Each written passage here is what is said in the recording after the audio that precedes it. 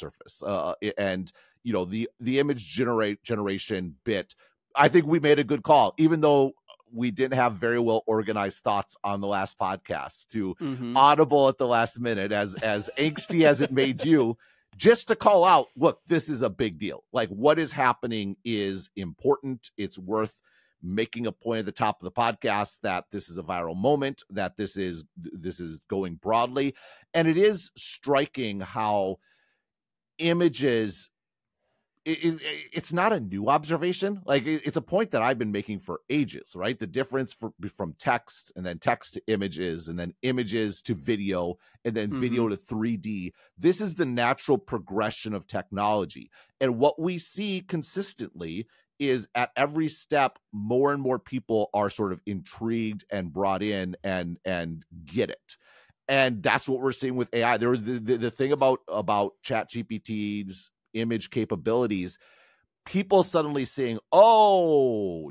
ah, it's not just generating stuff. I can actively manipulate this image in a very predictable way, in a way that's useful, is like yes, you could That's theoretically see yeah. this was coming, but I think for a lot of people, it's a big light bulb moment. And yeah, the the, the part we talked about uh, last time that for a lot of people, changing images they already know grabs them much more than the ability to generate images from scratch. Which again has mm-hmm. lots of interesting implications if you think through it, but just from a you know in generating demand, it's just so, it's much more accessible. You don't need to be creative to suddenly see the value and to have that light bulb moment. There was a tweet I just sent you like one minute before we recorded. So I don't know if you saw it or not, but I, I saw I just, it. It was like a 20 part thread. so I got the gist, but I may have missed some details from real yeah. estate Trent. Yeah. Well, I mean, so I, one of the great things about X is you could just like kind of randomly follow weird angles of the economy. So this yep. is strip mall guy uh, at real estate Trent on X.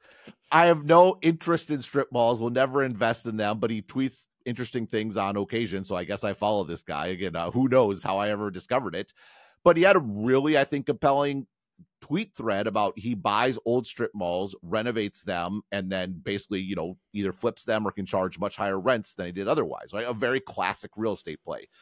And he was talking about the biggest frustration and difficulty in this process and a huge amount of sunk working capital is in the months after you acquire a property and you're trying to figure out what to do with it and you're trying to mm-hmm. get someone to give you designs and you don't like that in different designs and do this and he's like i just bought this property and already figured out what we want to do with it over the weekend because we could just try different materials, try different things using the chat GPT because you can be so specific. Take this image, change it to this, do stucco, do wood, do this kind of roof, do XYZ.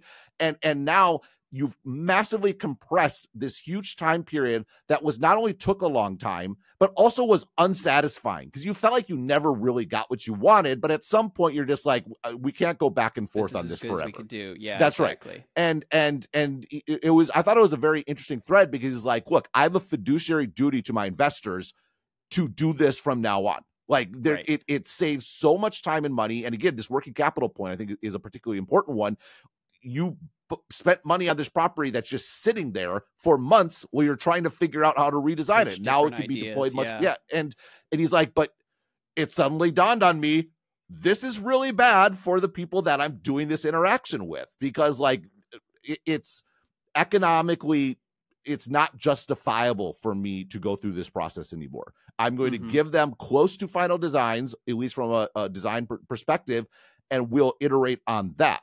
And I, I think, and again, you could see this coming if you squinted, but there's something about it becoming very, very tangible that that you know totally. makes it well, makes and it I said that on the last show it's it's sort of like a deep research part two situation. Yep. Um, the show last week was so funny because in retrospect, I was much sicker than I realized. And going into it, um, I can tell talking to you right now, you were definitely in a funk. I feel so alive here on Sunday night. I thought we were going to be focused more on like what that Trent thread lays out and focus more on images and GPT and what that level of precision means across various industries. But then we started and we were focusing on the Studio Ghibli, Ghibli. viral trend. Ghibli. Ghibli or Ghibli? oh, right. No, I might have screwed it up. Again. It's probably it's Ghibli. Ghibli, Ginobili, whatever it is. Um, and you just wanted to meditate on that. And I was like, how are we going to get an hour out of this? This is basically just an Instagram filter. I don't really know what the big deal is. And, um, and the images with GPT and, and that level of precision, yeah, that's going to be disruptive across all kinds of industries. But I think you, the example of the strip mall guy uh, is a great example of where you know mock-ups that used to take weeks to generate and were expensive to generate can now be done in a matter of minutes and it gets it makes his business a lot more efficient and that's yep. what's possible in all sorts of areas. I, we can still meditate. Week. We can still meditate on Ghibli. I like I like I predicted. Sure. I, I, think some of our readers got very mad at you about uh yeah for for did, not just not having seen Studio Ghibli movies, but then insulting people who like them. Just, yep. I mean, yeah, sick and lashing out.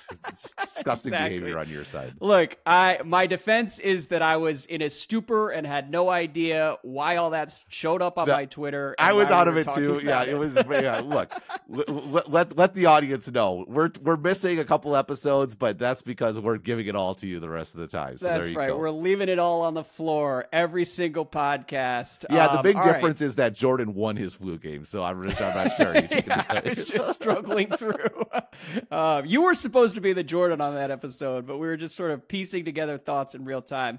In any event, following up to that discussion, we also got this note from Mitch. He says, Ben, as someone who's been following AI image generation over the past few years, I was amazed at how the recent launch of OpenAI's autoregressive autoregressive image generation made much of the open source tooling ecosystem around image generation feel redundant. That ecosystem hinged on the idea that there were areas of weakness for AI that required scaffolding and support from various other tools, workflows, and plugins. Now, not so much. Should we expect this pattern for all AI adjacent products? As foundation models improve at such a rapid pace, how durable are the business models of startups built around tailoring those models towards specific use cases. If general purpose models keep getting better, fast enough to absorb many of these use cases natively, do these moats do these kinds of moats just evaporate? It feels like a broader version of the bitter lesson that you described in the context of self of self-driving cars.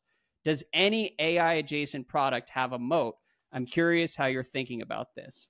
I'm curious too, Ben. Do you have any answers for Mitch? Well this is oh, i think one of those ongoing so th- there's been a bunch of ongoing debates that that yo-yo back and forth. You referred to one earlier with grok which is our model is this just a pure commodity? If you just spend money do you get like a leading edge model? Grok suggests yes maybe you do. And then that's one of my takes for why openai actually needs to the product differentiation is a big deal and it is actually what they need to focus on because you know maybe the models aren't that but, but the flip side of this is everyone's like, well, I guess AI wrappers are actually good. It's like, well, maybe not because mm-hmm. the, the, AI models get so much better. People forget this happened the first time around with with Chat GPT with, with GPT three, and then GPT four just kind of swallowed a bunch of would be use cases, and you know. There's a question about that with, like, say, the coding stuff, right? Claude was the the model for coding. You mentioned Cursor sort of earlier, and now they're trying to push their own coding product uh you know and is that going to actually end up being more compelling and can they do more interesting things and does sitting on top of that is that actually a useful and sustainable place to be uh it's probably going to be pretty context specific and, and about what works what and what work. doesn't yeah, yeah, i mean and you're you're i would say on one hand there's going to be need to be a lot of old school product development where you go in and you really understand the end user and what they need and you build a product that solves their problem that happens to use AI. And mm-hmm. probably a lot of these products start with AI and what could we do and do stuff on top of it and then they try to go find customers that need it. And the problem is if you're starting from AI, you're starting from the model potentially just doing what you did. Like you're kind of totally. like you're starting from the wrong direction. Eh, uh, Now, now is that going to be a cure all? Not necessarily. Like, are these, you know, and I think this is one of the big questions: Are these models just going to do everything in the long run? And anything built around them is just going to get swallowed up. I, you know, again, I think it's it's probably to be determined. Probably the more niche your application is, the better you're going to be. And what you're seeing, I suspect, is what we always see, which is this barbell effect. You have mm-hmm. these large platforms that end up serving 80% of the the the, the problems at a good Needs enough rate. Cases. Yeah. Yeah. And and now even if OpenAI sticks with subscriptions, it's like, well, you subscribe to OpenAI anyway. So you might, it's like the Microsoft Office thing. You already subscribe to Microsoft Office, might as well just use Teams. If they go to ads, it's even more compelling because then it's free. Like, why would you even bother trying anything else? And, you know, it, it and the ad thing's funny. We had a, we had a, a friend is like, he's like, oh, I'm so jealous. He's like, oh, he's because the, you know, their servers were so on fire with this Studio Ghibli, uh, Ghibli stuff that mm-hmm. I think it is Ghibli. Uh, that it's not in the free tier, and so I sent him a couple. He's like, "Oh, I'm so jealous." I'm like, "You can subscribe to this." It's like, I don't, I don't see the value. Blah, I'm all set. It's like, it's like, I mean, the reality is we're making all... fun of this friend for being cheap. Is that right? Yes. No, but yeah. but it's funny. It's like people when I'm someone shows me a YouTube video and an ad cuts in, and I'm like, you don't need to live this way. Like I respect for a lot of people like they can't afford YouTube Premium. I'm like, you can. This is ridiculous, but whatever. It just goes to say goes to show if there is a free alternative, lots of people are going to be fine with that. Um, but you have this 80 20 and maybe it's 90 10 or or whatever it might be. That leaves number 1 a relatively small market for everyone else. Mm-hmm. And who serves that market? Is it going to be large VC funded companies? Maybe that maybe that's like the sort of the SaaS sort of market idea. There's lots of companies that got funding and they have sales teams and they they eh, but I think one of the reasons why SaaS produced all the companies over the last 15 years in Silicon Valley and there's really been no big consumer company since Facebook until OpenAI gets at this point.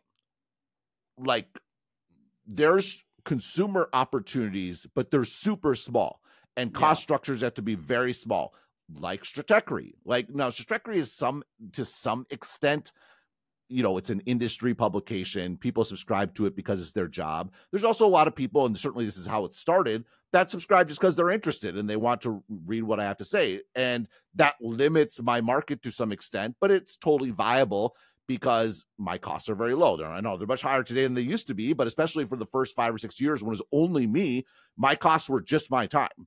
Mm-hmm. And so I don't need that many subscribers to have something interesting.